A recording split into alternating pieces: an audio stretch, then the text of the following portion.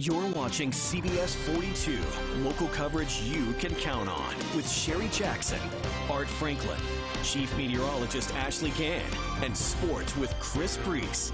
This is the CBS 42 News at 10. Would you take a look inside this church? That, see that deer jumping right there, caught trying to find sanctuary inside a church. This happened at a church in Michigan. That buck smashed through a window and just tore the balcony, but eventually did get back outside the same window that he actually broke. Monday was the start of deer hunting season in Michigan.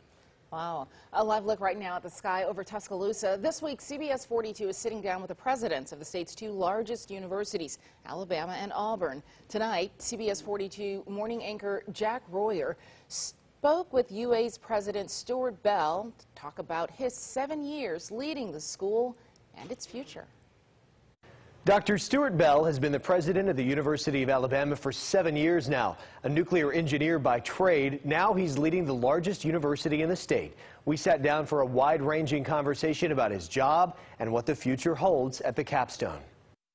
What have you learned from day one to now? What's changed for you? You know, fast forward now in seven years, um, we've really uh, uh, accomplished an awful lot at the university. Dr. Stuart Bell has learned on the job, leading an institution with a storied history, and he says a bright future. Young people um, love the University of Alabama, want to be here, but they have these great dreams, and, and I think I have even a greater appreciation clearly now of how we help them fulfill those and see their careers that can be impactful and uh, that's that's exciting. Bell brags about UA's impact in researching various fields and the school's expansion of programs that allow students to mix curriculums, like business and STEM fields, for example, amid continuous growth in enrollment. The demand for the University of Alabama, as you kind of pointed to, is, is extremely high. We had 45,000 applications last year for our incoming freshman class, and so I do get to visit with um, many students and with parents. The University of Alabama has been focused on growth for decades. The school went from 18,000 enrolled students in 1997 to 20,000 in 2003. It's been a boom ever since. The school's current enrollment sits just above 38,000.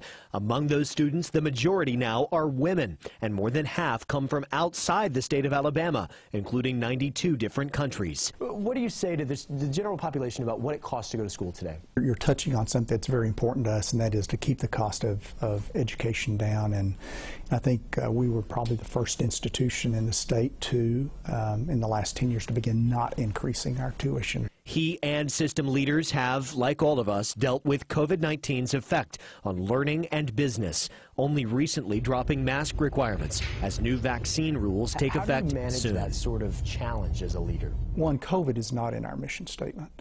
Um, and the point in that is we are still preparing young people to be the solutions to the challenges that we face in the state and all across the nation, and we can't keep our eye, can't, can't uh, take our eye off that that ball.